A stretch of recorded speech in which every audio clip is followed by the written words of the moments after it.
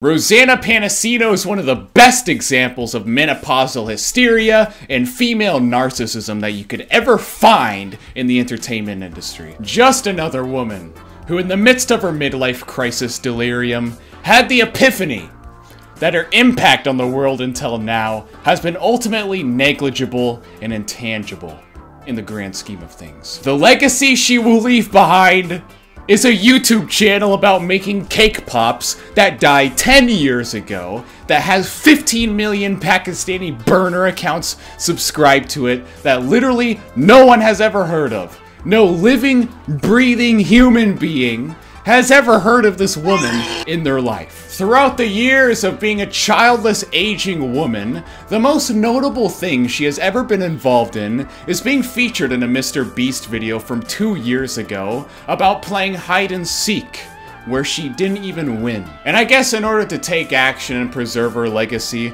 so she can leave this world feeling like her existence wasn't totally meaningless, because it is, she went to Twitter and went on a tirade about Mr. Beast robbing her of the third place position in this children's game on this children's YouTube channel. She plays it off like her main gripe with the situation was with Mr. Beast's dishonest editing of the video, and how the final product intentionally misrepresented the positions of the runner-up contestants. After she found out that her precious third place position was replaced by Logan Paul, she was shocked disappointed, and hurt. But apparently she didn't feel hurt enough to have mentioned this two years ago when it happened, when it wouldn't have caused as much drama and could have been resolved a lot more easily. I think Mr. Beast was just a catalyst for this woman's menopausal episode. And her sudden fixation on this incident out of nowhere is completely arbitrary. Hypothetically, if Mr. Beast had nothing to do with her life whatsoever, she still would have found a way to take out her feminine wrath on someone or something else. She's convinced herself that Mr. Beast was supposed to have some loyalty to being 100% authentic and real with every detail of his videos, and him excluding her from a portion of the final cut was him being unfaithful to the standard that he was apparently supposed to be upholding. I don't think anyone past the age of 11 is upset after finding out Mr. Beast's videos aren't 100% genuine. It shouldn't shock, disappoint, and hurt you as an adult to learn that reality TV shows alter events and details in order to tell a more entertaining story. I think the fact that this woman even had the opportunity to appear in a Mr. Beast video as a content creator is such a blessing that it totally negates any right she has to complain about the outcome of the video at all. Instead, she had to have a meltdown about it on Twitter years later, saying the only reason Mr. Beast excluded her from a portion of the video was because him and his team team are sexist and go so far as to call anyone who criticizes her behavior sexist as well. Since she was the only female out of the top three people, then it could only be concluded that the singular reason he had for leaving her out of the final cut was because of his gender prejudice and had nothing to do whatsoever with the fact that she just wasn't entertaining. This claim doesn't even have any grounds to stand on, since she was actually one of the two people left at the top three in the final cut. The other one being male. Oh, so I was I was in I ended up being in third place. I ended up being in third place because they found me. But Larray was in that video and Larray was asleep. So I was technically second place. So I was I was the second place in that video. Who knows? Maybe it's because Mr. Beast is not only sexist, but he also doesn't tolerate homosexuals either. This guy looks pretty gay to me. This guy looks like a fa- I, I really doubt this is the case though because he looks really happy to have post-transition Chris Tyson as a member of his crew. He just looks so happy whenever he's streaming with him and filming with him. Her she says there's no selfish intentions behind her outrage, and it's not about her at all, has nothing to do with her. Because she also feels sympathy for the gay twink being left out as well. But it really seems like she was trying to make everything about her the moment she alluded to sexism and that Mr. Beast was only targeting her because of his vagina hatred. And again, also accuses anyone who notices her unhinged behavior of being a sexist. Because the only reason anyone could ever have for criticizing a woman is because of their sexist sentiment. She insinuates that Mr. Beast's decision to leave her out could have potentially affected her imaginary prize money that she never got, that she would have given to her community, which makes absolutely no sense. Because the only person in the competition who received a prize at all was the first place contestant. Again, her and the gay dude didn't place first, so no matter if they're included in the lineup or not, it wouldn't have affected their prize money because they never would have gotten any. I really have no idea why she would mention this or what her logic was behind this. She says that the same and worse has been done to other content creators who've been featured in Mr. Beast videos apparently. I guess she's talking about the allegations where Mr. Beast was being mean to his employees or inconsiderate towards his contestants or something. For the past few years of his reign on YouTube, people have been trying to find pretty much any way they can to tarnish his brand and character assassinate him. Even if he was a big meanie to his employees and had superficial optics, I could honestly care less. You cannot get that far in any industry in the world without being a bit of a hard ass and not being 100% transparent all the time, let alone the content creation industry. Not a single one of these will ever even come close to producing something a fraction of the value and scale that Mr. Beast has been putting out consistently for years. Barely anyone on YouTube today could handle the stress and responsibility and workload that Mr. Beast has, or maintain the determination that he has, or possess the creative prowess that he has. And these people that happened to work with him that later left and about it online were just a few of the many people that definitely could not handle it. You know, when I was working for the number one content creator of all time, he was such a hard ass and the workload and schedule was so overwhelming. Yeah, no retard. What did you think you were signing up for?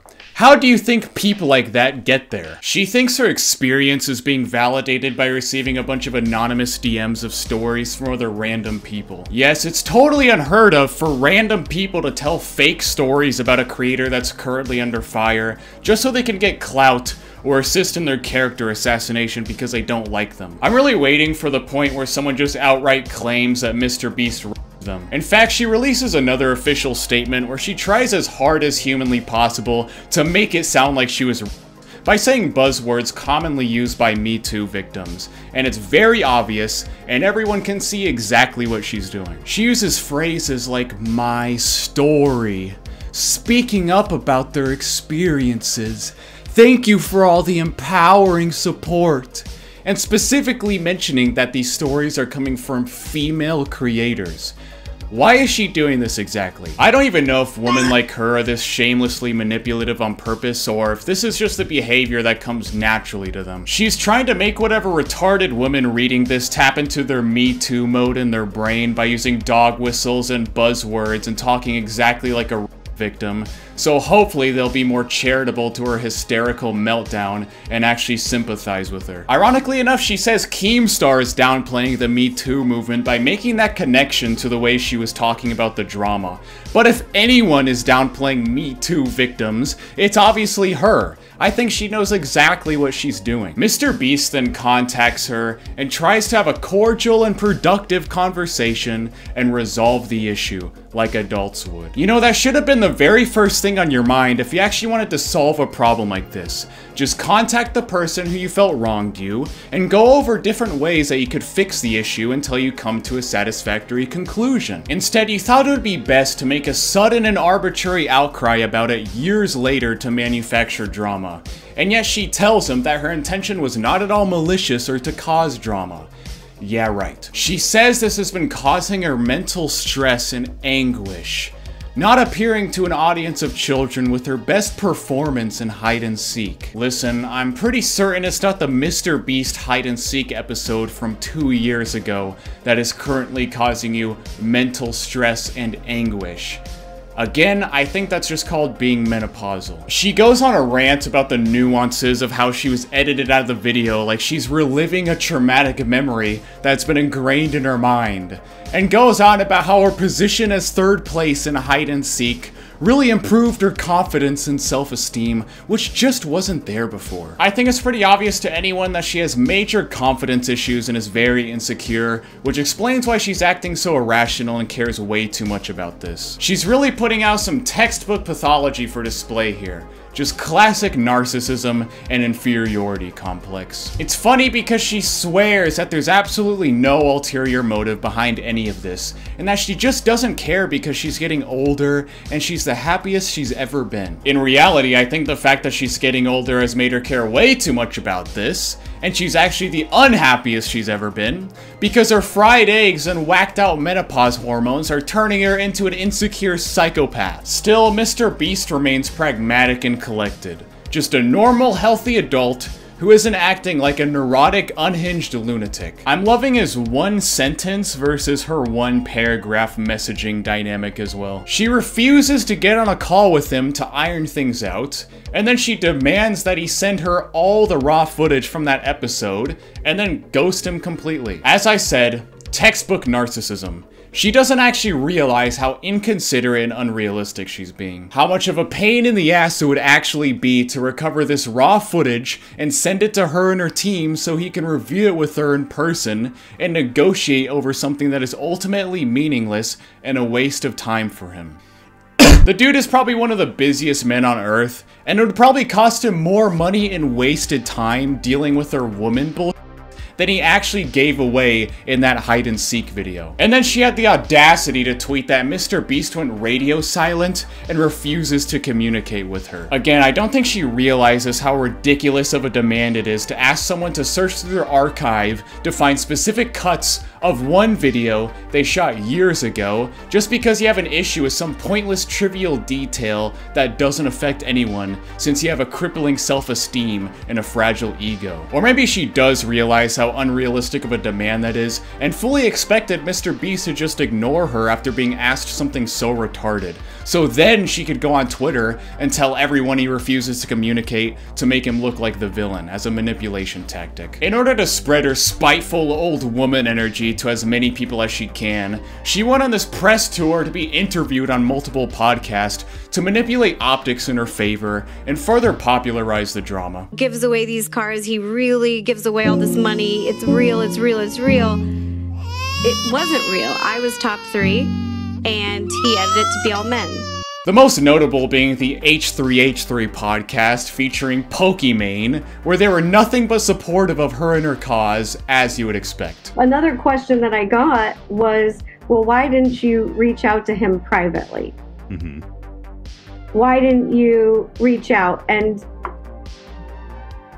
And I agree that in a competition like that, for you to get to third against other men is like such a fun achievement that you were probably so proud of that it really sucks that they took that out of the result, you know, for for people to see. You're you're feeling some misogyny that's that's affecting continues to affect your uh, relationships with uh, working with people in general, not just Jimmy, but in general. I don't think that's fair. Everybody's feelings are valid, especially in regards to gendered issues, because these are things that we deal with over years and years and years and years of time.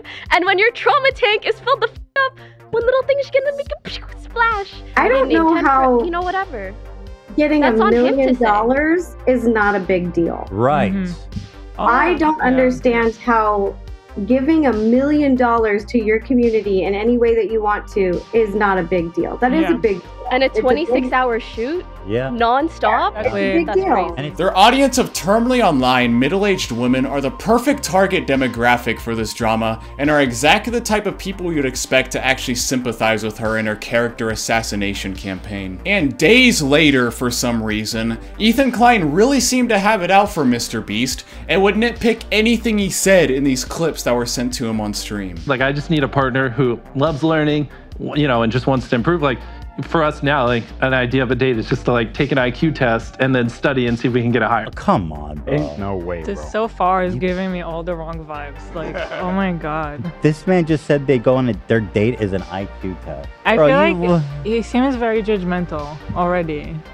By the way he created this list, like she needs to want to learn and do stuff because otherwise she's lazy or something. I think he's a little socially uh, inept. I don't think he really understands how to talk to women at all. And so, Like, Hilarious. I love it, and I love watching documentaries. And also, this man has his feet up on someone else's podcast.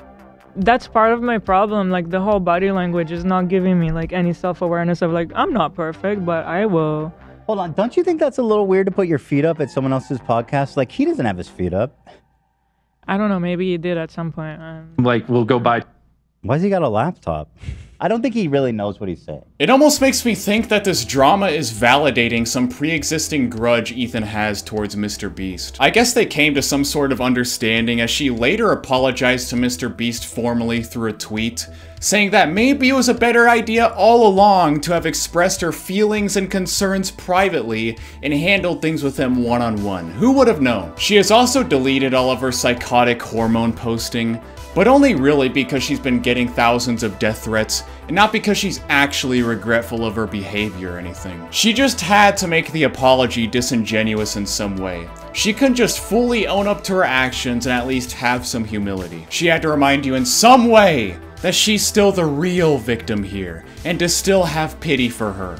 She is the embodiment of eternal victimhood. This settlement of beef between her and Mr. Beast was pretty short-lived though, as she has since retracted her apology after learning that he isn't solving every single one of her problems exactly the way she wants him to. I think we're just witnessing the emotional volatility of this woman during her menopausal hormone fluctuations, and I guess when she initially apologized, her roller coaster of moody temperament reached its base level and she calmed down at the time. But now since she's back on the roller coaster and her mania cycle is reaching its climax over the hill, she's back for round two and ready to revive the drama and be a spiteful bitch again only days later. I can't really see this pointless battle that she's trying to wage with this poor dude ending anytime soon. Maybe when one of them dies. Otherwise, she's just gonna keep on going on and on, waging this war forever and ever. Anyways, like and subscribe, join the Discord, leave a mean comment. I'll catch you guys in the next one.